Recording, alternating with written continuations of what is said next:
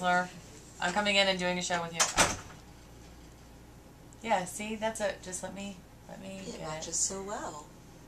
Doesn't it kind of? Actually, it does. See, it I'm, does. I'm not talking, and there's a reason why. For, for the Star family on the Because you're that's horribly embarrassed. This, We no, understand. no, it's because everybody in this room went to lunch and nobody got me anything. I didn't go to lunch.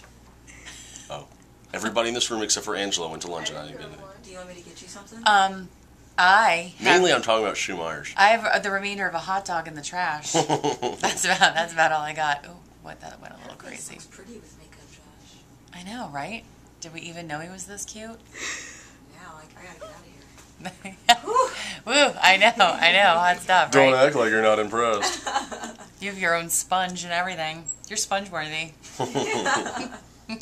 Anybody remember that episode? No. Elaine? yeah, uh, yeah, no, I remember. I, no. yeah, I remember that one. Yes. Now You're sponge worthy.